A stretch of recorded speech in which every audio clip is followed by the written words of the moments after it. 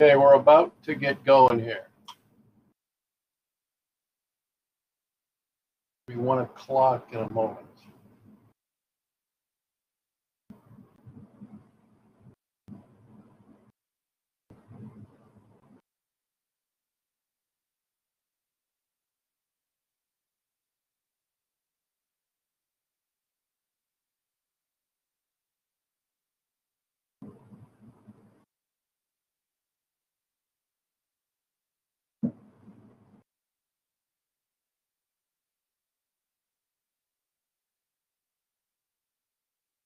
Okay. So this is the second hour of hemoglobin. Um, and I stopped a few slides after that, this one that I'm showing on the screen uh, this morning. Um, I just wanted to go through this a little bit more because uh, I think we have time to do this. Um, I don't want you to get caught up in the mathematics here because I'm not going to ask a specific quantitative question about this. Um, although it has the same detail that I go through in pH problems. Um, the pH stuff is meant to be a detailed introduction to understanding blood gases so that you can do some quantitative stuff with blood gases and interpreting blood gases. Um, and you'll see that on Monday that clinicians actually do this kind of stuff. Here, I just want to make sure that you appreciate that this dissociation constant and this dissociation equilibrium constant, and then substitution with partial pressure to make this a P50 makes sense to you. What we've done here is we've moved the concentration of the ligated myoglobin over in the P50 over to the right to come up with this form of the equation. And then on the next slide, we're going to substitute this into an equation for y. So y is essentially the fraction ligated divided by the total. Okay, so appreciate it's a one-to-one -one binder. So this is just a fraction bound divided by the total, unbound and bound. All right. And so we're going to substitute into the MbO2, that equation from above. So it's this equation substituted and this same equation substituted in the denominator. And then all the MBs cancel because there's a term in each one of them. Okay. And then if we multiply and divide by P50, this term in the numerator goes away. This term in the denominator goes away, but this other term becomes P50. So this is actually divided by this whole thing here, right? All right, and so now we have Y is equal to the partial pressure of oxygen divided by partial pressure of oxygen plus P50. So again, this is showing you that there's another way of getting fractional saturation. Okay, and then 1 minus y is the fraction unsaturated or unbound. Okay, and so notice y is done in a way so that it goes from 0 to 1. Okay, and so to do 1 minus y, you just simply use P50 over PO2, which is the same as the denominator, so that's 1 minus y, and that's the PO2 minus over the same denominator. Okay. And so you cancel the oxygen and you get then y over 1 minus y. And if you rearrange terms here, you will see that you get PO2 over P50. Okay. And now we're going to take a logarithm. All right. And so now you take a logarithm and this generates what is called the Hill equation or what I call a Hill plot. All right. So it's the log of y over 1 minus y is equal to the log of the PO2 and then the log of a quotient is the difference of the logs minus the log of P50. So for a single site, or non-cooperative sites a, a plot of log y over 1 minus y versus log PO2 is linear with a slope of 1. And we know it's a slope of 1 because there's nothing in front of the log term. Okay? And so the, that's what that will give you. And the intercept of the log P50 will give you the KD. And the intercept occurs when this quote, this ratio is 1 and the log is 0. For cooperative sites, a hill plot is more complicated. We're not going to derive all of this at all, but the difference reduces to the fact that there's a difference in the slope. It's a much more complicated sort of question, but the difference is that it's the slope that changes in a cooperative binding event. Up above, we said this is going to be hyperbolic. This is going to be sigmoidal. Okay. But the difference, therefore, is the information we get out of this slope.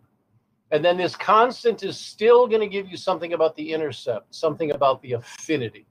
All right.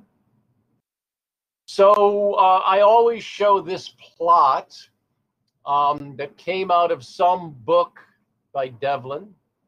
And it shows the hill plot versus log PO2. So the log of the ratio of the saturated over the unsaturated and it shows a slope for myoglobin where NH equals 1, and then a slope for hemoglobin where NH equals 2.8.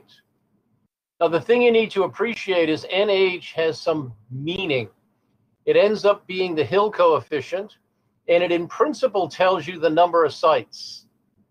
Okay? So the number of sites you already know now is four, right? But we're getting a value of 2.8. So what that means is that the cooperativity is not perfect. You don't have none bound and four bound. You have none bound with intermediates leading up to four. And so this is a reflection of the cooperativity and how many intermediates are populated. All right. Now, as written here or as drawn here, this is not really very informative. These authors simplified stuff and it leaves out some important information. All right. And so I usually go to the board and draw something. Oh, goodness. What I drew is gone. Ha! so I'm going to redraw it. I drew this in PowerPoint, but it didn't save it. Wow. Oh, it's on your PowerPoint. So you can see it on your PowerPoint. It's not in the PDF. Go forward one slide, he says. No. Okay. So what's on your PowerPoint is a plot that looks like this. Okay. And it's the log of the oxygen concentration right here. And over here, it's a plot. There's going to be a midpoint here. It's going to be a plot of that Hill coefficient of log over uh, y over 1 minus y. Okay. And on the when I drew this, I actually had to redraw it because I made it too close to this point right here. So this point right here is the zero point. Let's put it over here so you know that. Because the log of one is zero, instead that will be the intercept when we draw the intercept line. Okay. And then there's going to be a, a log, a line that looks like this that may be too steep. And there's going to be a line that looks like this. Let me undo those. There's going to be a line that looks like this, and there's going to be a line that looks like this. Okay. This intercept corresponds essentially to the affinity. So since it's on the low side here in concentration, it means the halfway point is high affinity. So it's a low concentration for the KD. And the high point over here means that it's, did I say high affinity? It's low concentration, so it's high affinity. Out here, it's high concentration, so it's low affinity. All right. So this is the high affinity form, which we call R. This is the low affinity form that we call T. All right. Okay, so what happens during binding to hemoglobin is that the binding starts out as T and then it transitions to R. All right? And so I normally draw this on the board as I say. And so what happens in the solution is oxygen binds to the first site, and then the affinity begins to increase in that molecule. And then some binds to the second site, and the affinity goes up, and the third site it goes up, and then eventually it transitions to being the high affinity form. Okay.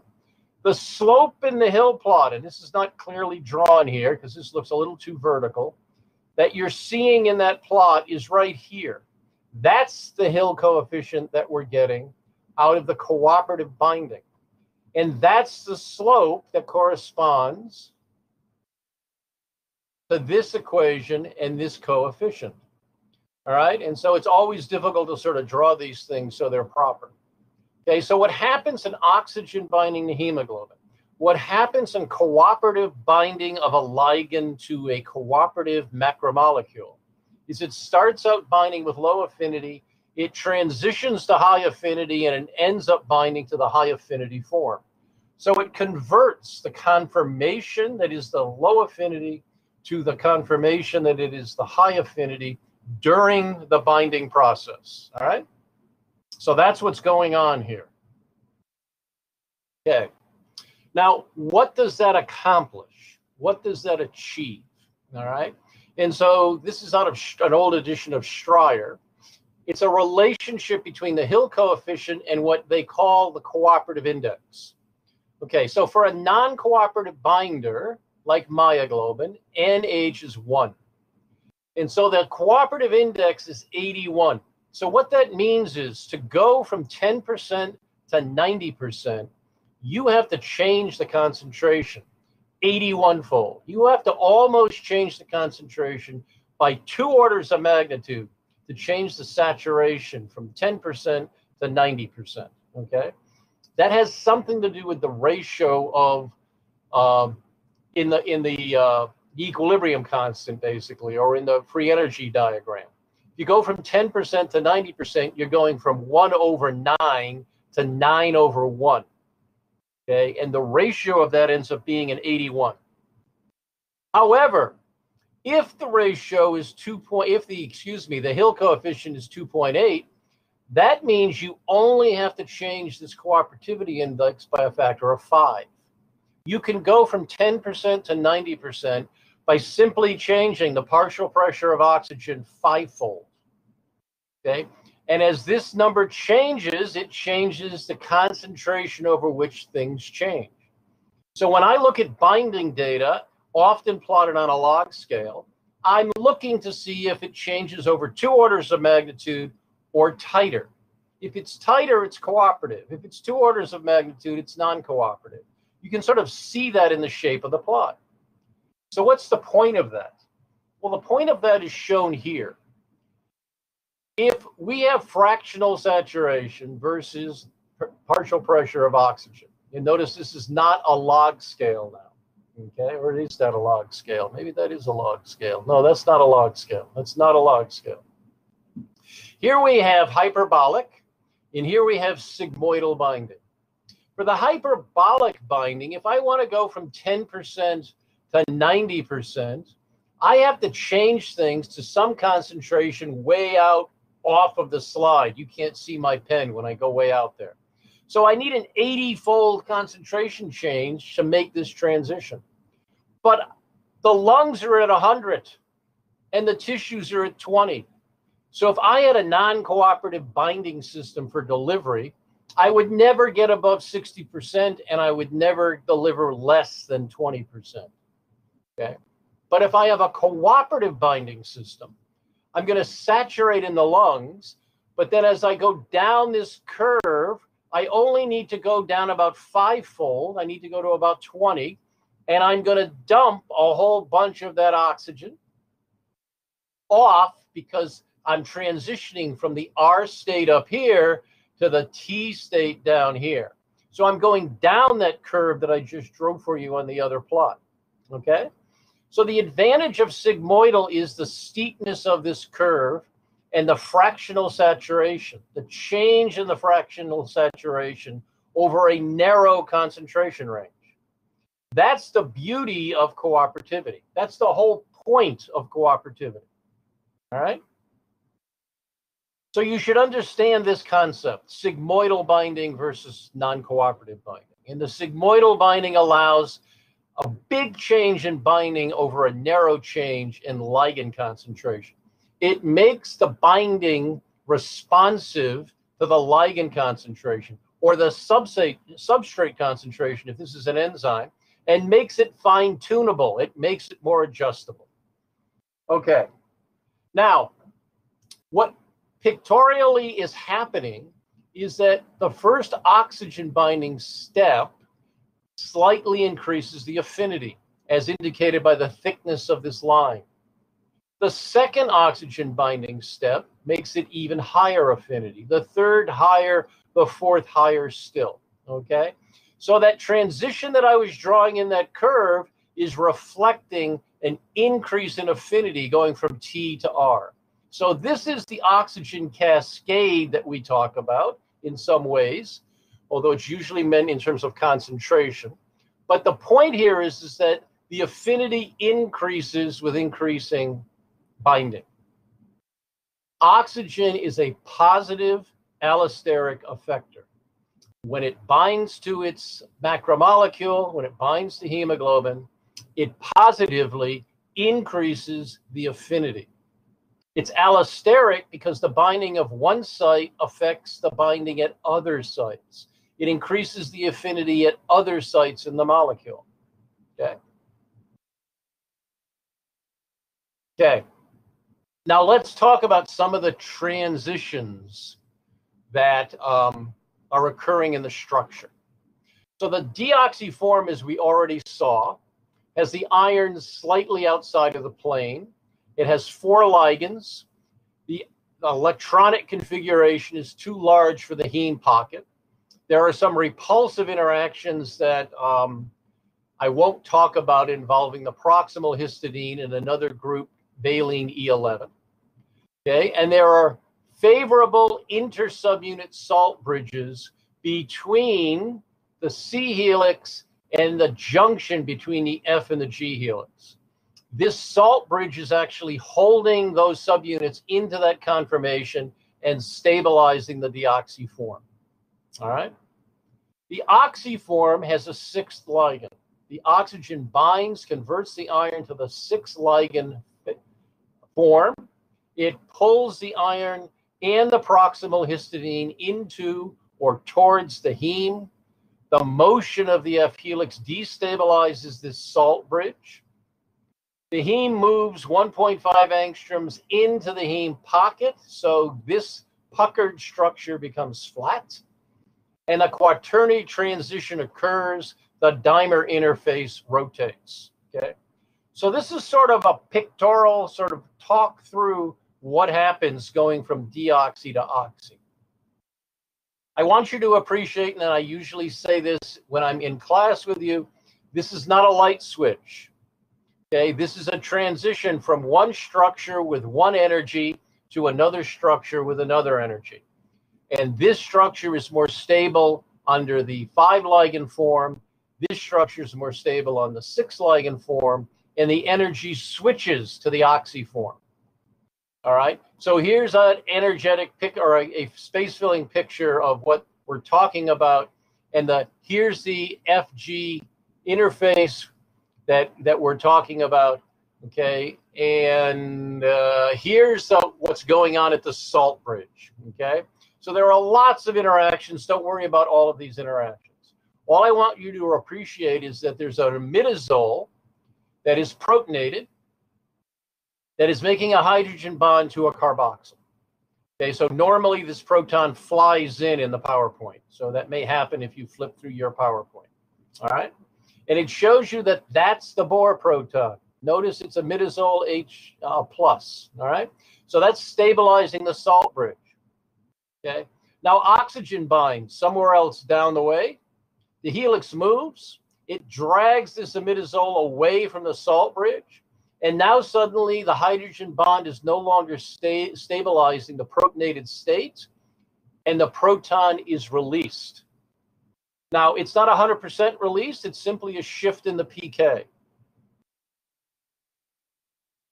Okay, it's a shift in the PK that makes the proton more dissociable. Okay. So this is depicted in a slightly different picture with slightly different uh, rendition, where there's some kind of a, a hydrogen bond between. Uh, oh, I'm sorry, I'm adding over here. There's some kind of a hydrogen bond between a histidine and an aspartic acid, and that added proton is the Bohr proton. We talk about this as though it's the Bohr proton. Uh, this is really a global phenomenon, number of protons released. All right. And this is the deoxy configuration. This stabilizes deoxy. When this helix moves, it increases the probability the proton can leave. It sh effectively shifts the pK to a higher value, to a lower value, so it's more likely to dissociate at pH 7.4. Okay, and so in you've accomplished two things. You're now allowing a conformational change to occur, and you've delivered a proton. And remember all those slides from yesterday where the proton that came off suddenly added on to bicarb, carbonic acid, CO2, breathe it out. Okay? All right. So I'm going to get to a question that's over here on the left in a second. Okay? Um, and people are beginning to contribute stuff, and I'm going to have to jump in pretty soon. All right. So there are a couple of different models for how we think about this. Okay. One is known as the Monod Wyman Changeux model, the MWC model, or what is referred to as the all or none model. This was developed in the early 60s by Monod, Wyman and Changeux. Okay. The idea is that there are two conformations. The tetramer is in a deoxy form or the tetramer is in an oxy form. Okay. And there's an equilibrium between these forms. All right. And so you can see without oxygen binding, the deoxy form, the bigger arrow is up, predominates. As oxygen binds, the equilibrium shifts and a little more of the hemoglobin becomes oxy. And another oxygen binds and a little more of the hemoglobin becomes oxy form etc. More oxy, more oxy. Okay. So somebody asked a question over here. Is there a specific point when it changes from deoxy to oxy? Okay. Is it when the first one binds? No, you simply shift an equilibrium. More is in the oxy. Is it when the second one binds? Maybe not, but more of it is in the oxy. Three bind, more. Four bind, more still. Notice there's always a little bit of deoxy. It's an equilibrium. It's never zero. Okay? It might be a big shift. It's almost all oxy, but there's an equilibrium. Okay? So that's the idea. Don't think of it as a light switch. Think of it as a rheostat. All right? Now there's a competing model out there. It's called the sequential model. Okay, the idea is, is that we start out in some conformation, uh, deoxy conformation, and oxygen binds. And the local tertiary structure of that subunit changes, and some of the interactions change between it and the other residues, but not all of them. It's sequential, it's not all or none. And then another ligand binds, and tertiary structure changes in that subunit, the interactions change with the other subunits, but it doesn't flip over completely. The same thing happens with three, the same thing happens with four. Okay? So we can do all or none, we can do sequential. Both of these basically explain the model, and both of these basically explain what's happening with the data.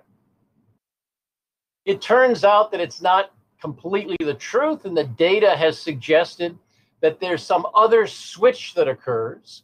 Early on, it's sequential, and then it becomes all or none. Okay, and I won't go through the the, the papers that describe this from the 80s and 90s are absolutely beautiful papers. They come out of uh, Gary Ackers' lab. Um, he did a lot of this work at Hopkins before he went to Wash U and at Wash U. Um, and it showed that there were not two states, but three states. There was some intermediate state before it flipped, okay? And so this is known as the hybrid model, sequential until you cross some dimer interface, meaning if the ligands are within a dimer, then it doesn't flip. But once an oxygen molecule crosses the barrier and it binds in the other side, remember these are alpha 1, beta 1, alpha 2, beta 2, then it flips. So this has it flipping at 3, but if this second ligand had bound here, then it would flip. Okay? So this sequential model is better for a full description of all of the data. All right? It doesn't change things from your perspective, although you should be aware of Monod, Wyman, Changeux, and sequential models. These models, especially the sequential model, which is also known as the Koshland uh, Nemeth Filmer model, because some guy named Koshland, Nemethy, and Filmer developed it, um, is used in a lot of enzyme catalysis models. Okay, so the issue here is that this model distinguishes between quaternary transitions and tertiary structure transitions. So it's a little bit more detailed and a little bit more complicated. Okay. Now, that's the basic model. And that describes positive allosteric effector. That describes oxygen binding. But what about all of these other effectors? Okay. All right. And so somebody wrote over here in your comments, deoxy and oxy are not dictated by oxygen binding. They should be dictated by 2,3-BPG, proton, and or CO2. Okay. So the first part of that sentence isn't quite right. Deoxy and oxy are dictated by oxygen binding, but they're also influenced by 2,3-BPG, protons, and CO2. Okay. All of these guys play a role. So the hemoglobin model is all or none. Okay? It's a it's a sigmoidal binding curve. It's a cooperative binding curve, okay? But if you change the concentrations of these negative allosteric effectors, then you will shift the curve. So remember what I just said. We're going from pH 7.6 in this panel to pH 7.2. By lowering the pH, we're raising the proton concentration. By lowering the pH, we're shifting the curve to the right. That means that delivery improves because if you look down here and ask how much falls off at some low partial pressure of oxygen, you can see there's some additional loss of oxygen here. All right. And so, yes, oxygen affects the shape of the sigmoidal curve. That's built into the hemoglobin transition. But pH shifts it to the right. And by shifting it to the right, a greater amount of oxygen can be achieved, a greater amount of oxygen can be delivered. So pH or proton concentration is a negative allosteric effector, effector, and a right shift causes an increase in delivery. Okay? So that's what the negative guys are doing. Now, this is known as the Bohr effect because increased acid lowers the pH in favors increases the CO2 um, binding and increases O2 dissociation. So remember this summary curve that I wrote before. Okay. Oxygen binds, proton comes off. All right. So by increasing the proton concentration, proton binds, oxygen comes off. Okay, so again, it's not all or none, but it shifts the equilibrium. And what was fivefold might now be fourfold. We might do a little bit better job of delivery. Okay? So the shift to the right has a really big role in this. okay. Now here's an overview of what we've been talking about just to put this back into a context of the overview, all right? In the lungs, oxygen is high, it saturates. The color of the blood is actually red because the iron has a color. It's fully saturated. It's 95, 98, 99%, 100% saturated. It goes to the tissues. At the tissues, the pH is different. At the tissues, the O2 concentration is different. Up here, it's 100. Down here, it's 20 or less. So the oxygen falls off. Okay, so you've delivered oxygen. But there's also a high concentration of CO2 here. So CO2 now binds. CO2 binding is now going to flip the hemoglobin over to a deoxy form, carbaminohemoglobin binding to the N terminus. The color of the blood starts to change colors. It starts to be blue. Look at the, the color of your blood through your skin if you can see it. You can't always see it. You have to have veins on the surface that make it possible. Okay. And, and you have to have the right color contrast. But then now it's carrying CO2 and protons and they're now going to get delivered to the to the, the lungs. The concentration of CO2 is low, so it will release the CO2. The oxygen is high. It's going to force the CO2 off, and we've completed a cycle. Okay? So the transition is being pushed by oxygen binding into oxy, CO2 binding into deoxy. It's being pushed by delivering of oxygen at low partial pressure of oxygen, but higher concentration of CO2 and lower pH. Okay, so all of these things are happening at each point in this transition. Now, what, uh, what else affects this? Okay, so temperature also affects this. It's not surprising that temperature would have some kind of a contribution on macromolecular, macromolecular structure and oxygen binding. All right. so here's a plot of saturation versus PO2. Notice out here at 100, everybody is saturated. Down here, you're getting delivery. But notice as you drop the temperature, the curve shifts to the left. By shifting to the left, you stop delivering oxygen, it stays saturated. Okay. So when you get cold, really cold, okay, you can't deliver oxygen. You will essentially die from oxygen deprivation, okay? But when you get warm, when you get a fever above 37, 38 degrees, it will actually improve delivery of oxygen. So the argument made is that fever or exercise allows an increase in oxygen delivery.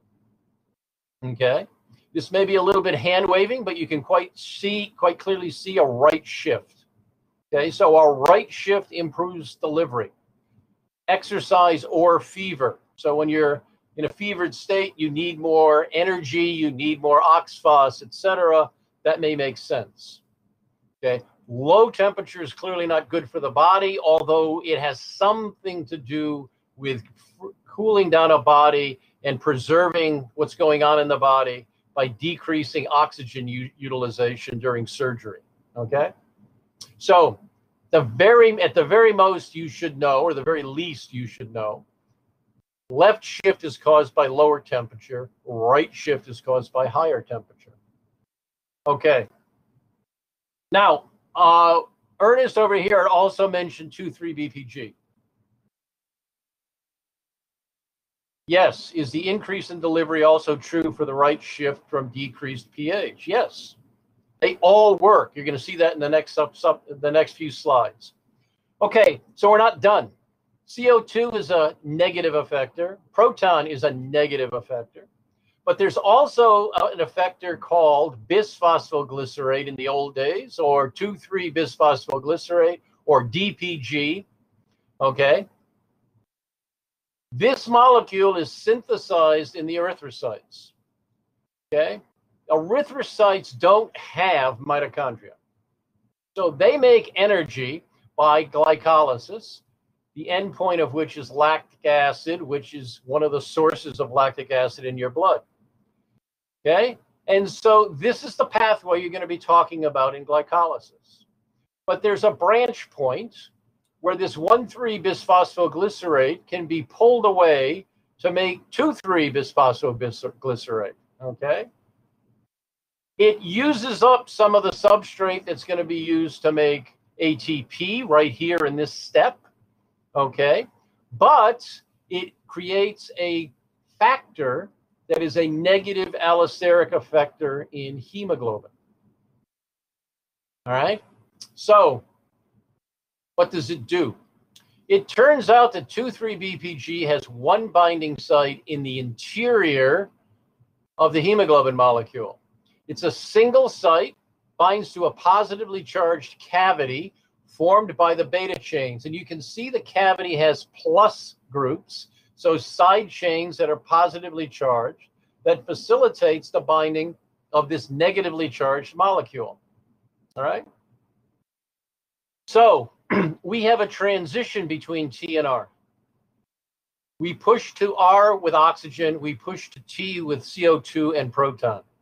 But BPG is a third negative effector and it pulls this form into a more stable deoxy form. So it favors the deoxy form even more. Okay. So again, it's not all or none, but it shifts the curve. All right. Now, I want you to notice this point, and we're going to make this point again and again. Fetal hemoglobin binds BPG weakly. It's because it has mutations in its sequence that are not positively charged. Okay. So BPG binds very weakly to um, fetal hemoglobin. It's the gamma beta chain. Okay. Thus, it never causes a right shift, as I'm going to show you. And thus, it has higher affinity for oxygen than the mother's hemoglobin A. Okay, so let's see if we can look at that in a slightly different way. So here's a more detailed um, stick figure of the BPG binding site. Notice it's histidines and lysines, positive charges that favor DPG binding. It's in the interior of the pocket, okay? Uh, in oxy, that rotation of dimers sort of collapses the pocket, so it also can't bind sterically. All right, and so let's begin to put that together now in a more complicated story. Here's myoglobin. Here's normal red blood cells. That, so that's hyperbolic. Here's normal red blood cells that have um, BPG and CO2 and protons and whatever else is in there. So the curve is shifted way out here. The half point is out here around 26. Okay. If you strip the hemoglobin, what that means is you take the DPG out, you get a left shift. So reduced DPG causes a left shift, the affinity goes up. So the other way to say this is DPG causes a right shift. Increasing the DPG concentration increases it more to the right. Okay? Reducing the DPG concentration causes a shift to the left. All right? So I put this little note up here because it's discussed in Lippincott's briefly. Okay? Stored blood for transfusion loses BPG during the process of, of storage. So it causes a slight increase in the oxygen affinity, and this potentially makes it a trap for oxygen when you first give it to a patient. Okay. So it suddenly has a higher oxygen affinity. It won't deliver blood as well. All right. Well, the caveat is how much blood do you get? Because the blood you have has BPG in it. And so as soon as you get that blood, BPG will bind and it will start to curve back towards or shift back towards normal. All right. Part of the idea for blood transfusions in bicycle racers, okay, think Lance, okay, is not so much that they're delivering something with high affinity or low affinity, they're increasing their oxygen carrier. They're actually increasing the amount of oxygen carrier that they have in their blood, so they're able to carry and deliver more oxygen. So it's a concentration effect. It's not a, an affinity effect. Okay. So this is shown a little differently here, but this reiterates what I've just said. Okay. Saturation versus oxygen. Myoglobin is tight down around one hyperbolic. Hemoglobin A, the adult form, is uh, uh, sigmoidal with a midpoint around 26. Fetal hemoglobin is shifted to the left because it can't bind BPG, so its affinity is higher. Down here on this scale, it looks like it's down around uh, 15. Okay, and so it shifted to the left with higher affinity. Okay, I'm going to come back to that. I should actually have moved that slide. I'm going to come back to that and I'm going to say it a couple more ways. Okay. So we're talking about BPG. We're talking about CO2. We're talking about protons. So here's a plot showing you sequential titratable behavior. Here's hemoglobin stripped. Here's hemoglobin with 5 millimolar BPG. Here's hemoglobin with 8 millimolar BPG. So you can see it's titratable. There's a binding affinity, and as you add more BPG, it shifts further and further to the right. Okay? So the point of this slide is, is that the shift is dependent on BPG concentration. How much BPG you have in your solution. So how much do you and I have in our bloodstream? Okay. And can that change in a demonstrable way? And can it change on purpose or because of pathology? Okay. So BPG levels increase due to high altitude. Huh. If that happens, then you'll have more BPG. The curve will shift more to the right. You'll get better delivery. What does altitude have to do with it? The Kenyans have been training at high altitude for over 60 years. Okay, they appeared on the stage internationally in the 60s in the Mexico Olympics. All right. So people now all over the world train, runners train at high altitude to increase their BPG concentrations to improve their oxygen delivery. Okay, so that's something you can do on purpose. People who have emphysema, people who have chronic obstructive pulmonary disease, also have increased BPG levels. Well, why is that? Because they can't get oxygen in normal levels. Their lungs aren't working, their gas exchange doesn't work. Okay, so they naturally increase their BPG concentrations and consequently, consequently, they get better delivery of what they have. Okay. Okay. And there are other conditions that have to do with reduced amount of delivery, reduced amount of red blood cells. Okay. And those conditions will also impact BPG. The body will respond by increasing BPG. Okay. So shift to the right occurs soon after birth. That's because we start out with fetal hemoglobin and then we shift to adult hemoglobin. We start out with predominantly fetal and we shift to predominantly adult. So the apparent curve shifts to the right with time. Simply fetal hemoglobin synthesis decreases, adult hemoglobin synthesis increases. You restore BPG sensitivity in the body and you get a right shift just over time in young children.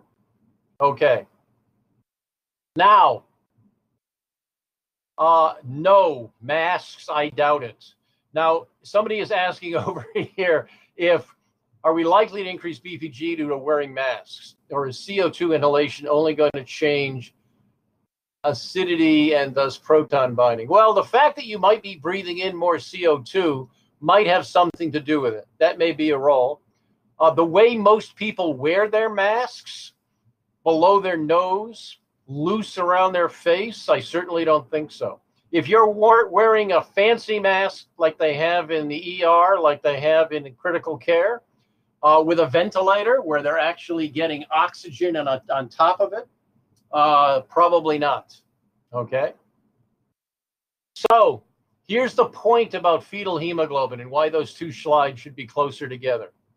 The mother's hemoglobin looks like this in blue.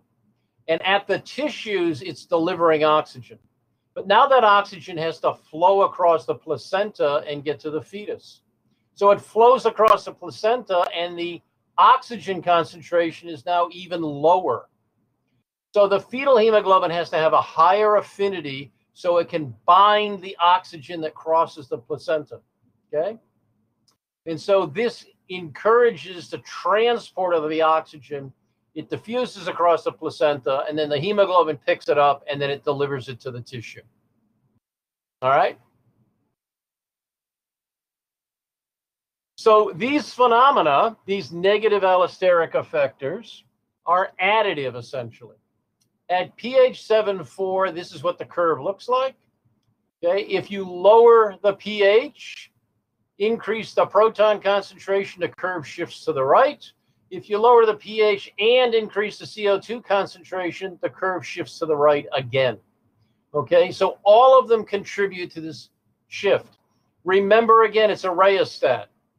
Okay, proton has a shift, CO2 has a shift, BPG has a shift. Okay, so all of them are binding with some affinity, and all of them are causing the shift in the binding curve. So the CO2 concentration, recall, is this carbamino binding at the N termini that favors the deoxy form. And the overall uh, change that we're talking about is shown here, where the deoxy form is favored by these negative heterotropic allosteric effectors. Hetero because it's affecting oxygen. They shift to this form, deliver oxygen. Oxygen itself shifts the curve to the right, releasing some CO2, BPG, and proton. Again, these are all equilibria. Okay, there are small shifts that shift that curve right and left, and that shift improves and delivers more oxygen. Okay, so that's the overview. So let me come over here and just see where we're going with comments.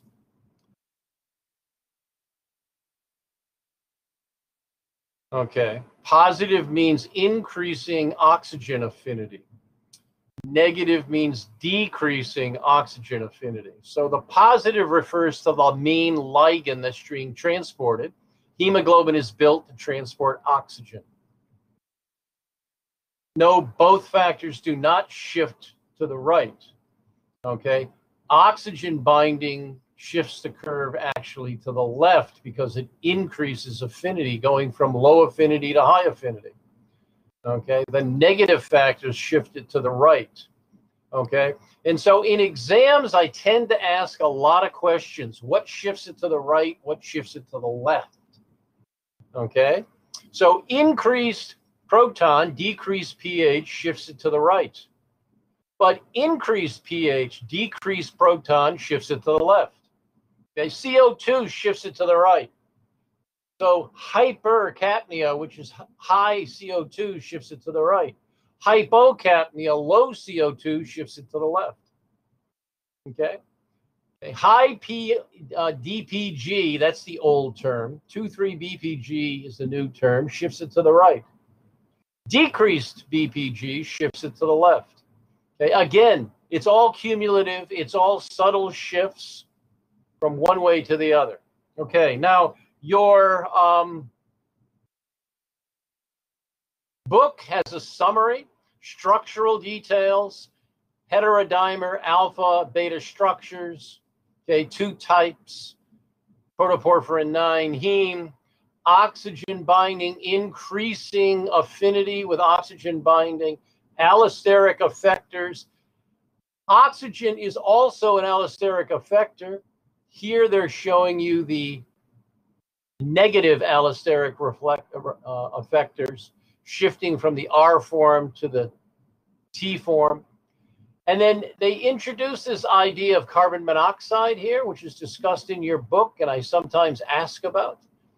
CO2 binds to hemoglobin really tightly. 200 and something fold tighter. So it binds to the oxygen binding site. Okay. What it does is it stabilizes the deoxy form. So even one bound begins to affect negatively oxygen binding. Two bound, more so, three bound, etc. So it causes a really big left shift and it makes oxygen delivery difficult, if not impossible. So carbon monoxide will kill you by decreasing oxygen delivery. And then there's a summary here on hemoglobinopathies. Uh, this is a topic for later. Uh, the whole idea about hemoglobin S, hemoglobin C, hemoglobin SC, and all of the thalassemias, decreased synthesis of chains, okay, and how that also is inheritable and how that also affects pathology. Okay. All right. So somebody says my video is being weird. All right. And so that's one of the things you need to sort of give us feedback on. Give us feedback on whether this is coming through clearly to everyone. To me, I sound pretty good. I can hear my own voice. I can hear my echo. I can see my own picture in the screen. I can see the slides. I'm assuming this is getting to you. So this is a Wi-Fi thing. This is a Canvas big blue button thing. I don't know. I don't know what the problems might be. The recording presumably is the backup for everybody if there's a problem. All right. Okay. It may just be Wi-Fi, and that's one of the reasons why the recordings are great. It was one of the reasons that I started making backup recordings, but that was just taking too much time for me to make backup recordings. Okay. So I also have here questions, examples of questions. Okay. Uh, we're sort of running out of time, and I want to transition to the other slide, but we can do some of these quickly. So, which of the following statements concerning hemoglobin is correct? Fetal blood has a higher affinity for oxygen than does adult blood because fetal blood has a decreased affinity for 2,3-BPG. Ha, that's a right answer. Purified hemoglobin F stripped of BPG. Well, it's not stripped of BPG. It's always stripped of BPG. It doesn't bind BPG, so that makes this a wrong answer. The chain composition of hemoglobin F is alpha 2 delta 2. No, that's the minor adult form. Hemoglobin A1C differs from hemoglobin A by a single genetically determined amino acid substitution. No, this is the sugar modified. This is the glycated form that is a measure of glucose regulation. Hemoglobin A2 appears early in fetal life. No, this is an adult form. Okay, so there will be questions like this that are sort of just going across details. The Bohr effect results in a lower affinity for oxygen at higher pH values. Okay, so the Bohr effect is usually a proton induced effect. High pH is decreased proton concentration. Okay, so the Bohr effect results in a lower affinity at lower pH values. Carbon dioxide increases the oxygen affinity of hemoglobin by binding to the amino terminal group of the polypeptide chains. It does bind there, but it doesn't increase, it decreases the oxygen affinity. The oxygen affinity of hemoglobin increases as the percent saturation increases. Yes, that's the true one. The hemoglobin concentration, the hemoglobin tetramer binds four molecules of BPG. No, it binds one. Oxy and deoxy have the same affinity for protons. No, the salt bridge is in the deoxy form. The oxygen binding breaks the salt linkage, releases the proton. A mother with sickle cell trait and six month pregnant, fly, six months present, pres, pregnant flies to visit her mother. What is the danger that the fetus will have a sickle cell crisis? I'm pausing, I'm pausing, I'm pausing. The fetus isn't expressing adult form, so the fetus is not yet expressing hemoglobin S. So there's no danger to the fetus. Okay, so I'm going to end this section and I'm going to close this recording because we're going to begin enzymes on the hour.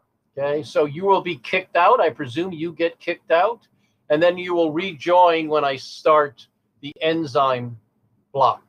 All right, so I'll see you in eight minutes.